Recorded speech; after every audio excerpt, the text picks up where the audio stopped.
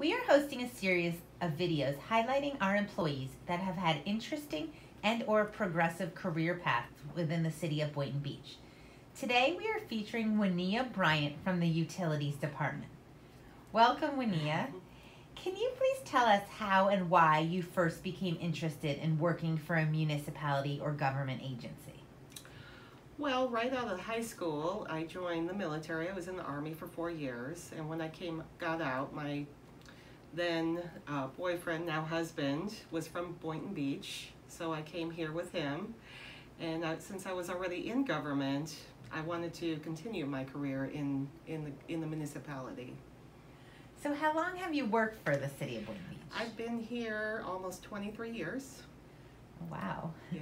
And what did you start with? What was your first position when you started working for the city? The first position that um, I took was in communication as a 911 dispatcher. Um, but I quickly learned that that is a high stress job, Mhm. and I had a problem with panicking with the people calling in. Understandable. so, I mean, I really have a lot of respect for, for them who do that, that job. It, it really takes a special person to be able to, to deal with those phone calls. Um, but I realized it wasn't for me, um, and there was a position in the utility as meter reader. Um, so I applied and I got the job, and it was like three or four months after I started with the city that I moved over to utilities.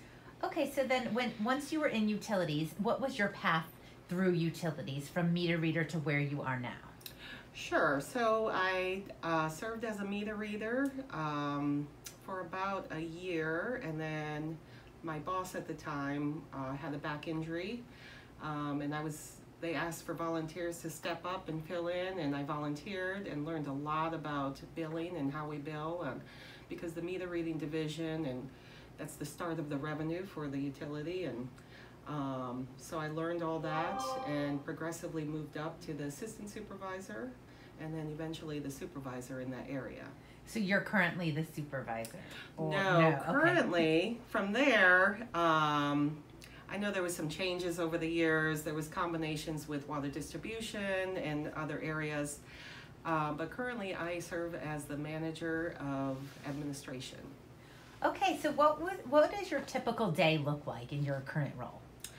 Well, currently, uh, besides manager of administration, I also do asset management and technology. Um, so in a day's time, I'm doing anything from budget activities um, to technology to asset management. Um, I actually was just recently promoted to manager of administration. Prior to that, I was asset manager. And this just happened October 1st. oh, well, still congratulations! getting- You're still getting your feet wet in your new role. Correct. Okay, Correct. that sounds great. But you know, the utility has thousands and thousands of assets from the fire hydrants in the field to every valve to all the pipelines to all the equipment in our three plants East Plant, West Plant, and the DES. Um, to every one of our lift stations out in the field. I mean, there's a lot of assets to track and keep track of and um, work on maintenance activities and replacement that all tie into our CIP budget and, and our operation budget. Um, so it's a big role to fill and it's an important job, um, but it's something I've thoroughly enjoyed doing. Right, and not to forget the big water tower right behind You're, you. you're right, that too, yes. So when you're burning the midnight oil, you get to see it light up different colors. Yes, that was a nice feature that they brought in a few years back, so. So, what would you say is your favorite part of working for the city? My favorite part is working with everyone. The staff here is awesome and amazing. Um, working with all the different teams and, and seeing everything that they do. Um, I don't get to work much with customers like I used to when I was in meter services, but when I was there, I enjoyed working with all the customers. I just really like people and helping people and, and working with everyone. So. So, what advice would you give to someone who might be considering employment with a government agency such as the city? I would say go for it. I mean, that's the biggest thing is uh, make the decision and, and don't hesitate, jump in, and if it doesn't work out, it wasn't meant to be, and try again next time. Um, and eventually, um, I mean, it's a great place to work. Uh, I would advise anyone to get into government.